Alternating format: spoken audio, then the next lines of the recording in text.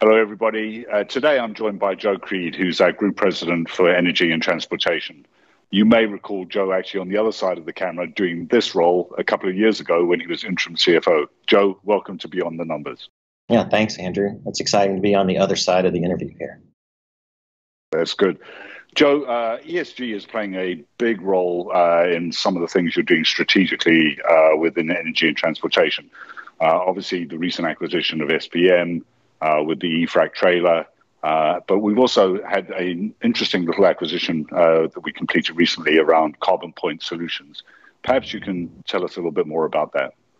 Yeah, thanks. It's it's an exciting uh, smaller acquisition that we made, and as as you say, Andrew, you know, over the last especially six to eight months, customers have really been focused on ESG issues and how we can support them to help them lower their carbon intensity. So, Carbon Point Solutions is a small uh, acquisition. It's headquartered in Rhode Island. Uh, it's a carbon capture patented technology um, that really differs from other carbon capture technology that's been around for a long time. So, um, carbon capture technology is more widespread on a large scale standpoint, and, and this particular technology is um, tailored to less than 25 megawatt solutions and distributed generation. So if you think about solar turbines, you think about our Caterpillar uh, equipment portfolio, uh, Carbon Point Solutions really fits in nicely with us.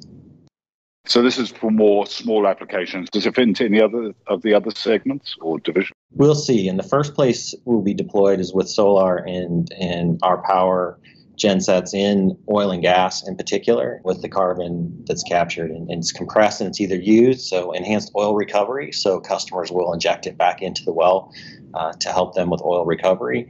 Or as i mentioned all the pipelines for co2 uh, a lot of our, our engines are running close to that that infrastructure so we can get it uh, moved out through that pipeline infrastructure yeah, and so I mean, this obviously helps the customer meet their ESG goals, which obviously are becoming more important for them as they look forward. Like I said, every little bit helps.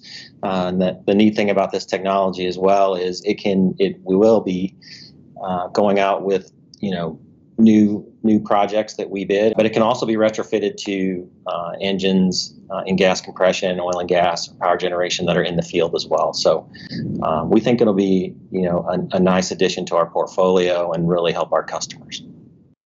Yeah, and I mean, obviously, what you see within energy and transportation is a number of uh, of, of, small acquisitions uh, or things we're trying to do to help customers on their ESG journey.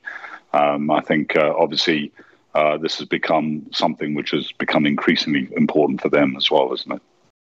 It sure is, and and no two customers are the same. And you know, supporting our machine uh, teams and, and, divisions as well as our external customers. Uh, you know, we're going to have all kinds of different technologies we're going to have to invest in, and um, this is one of them that helps through the transition.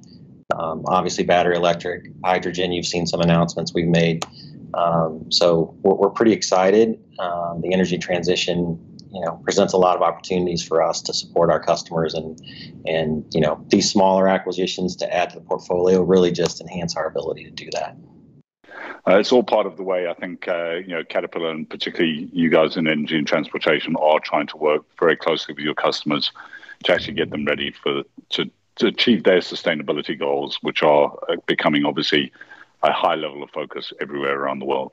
Yeah, absolutely. We're going to have to do this with our customers, um, and, and, we'll be there to support them. And um, like I said, they all they all have a little bit different challenge, but uh, we have a great portfolio of technology and great people, um, and so so we'll take this journey with them. Great, Joe. Thank you very much. Really appreciate your time today, and uh, best of luck on this journey and helping our customers meet their goals. Thanks. Happy to be here.